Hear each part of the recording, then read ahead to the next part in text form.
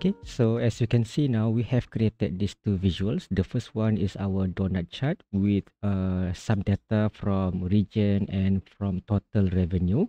And the second visual is for our card showing our total units.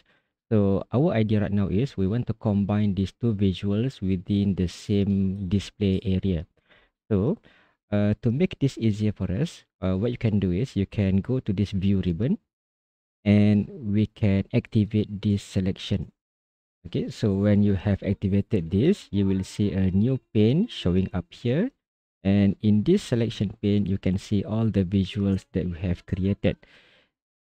So for example, uh, let me select the first visual and the selection will be highlighted in our selection pane here. So if I select the second visual by uh, pressing Ctrl on my keyboard button here and clicking on the second visual, we have selected multiple visuals at once.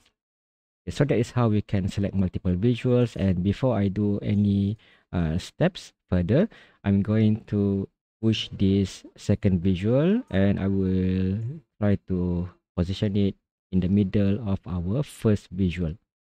Okay, so now it goes together. I want to group them.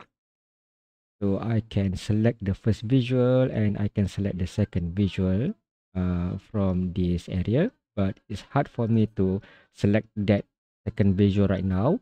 So instead of clicking on the main display area here, I can use this selection pane. So it works the same way, uh, whether you want to select from the canvas or from the selection pane. Right, so now we have uh, selected these two visuals. We want to group them together. So you can press Ctrl G button. Okay, Ctrl G button and that is the button that we can use to group uh, several visuals together. As you can see in this selection pane, now we have this group one. Under group one, we have the first visual and the second visual.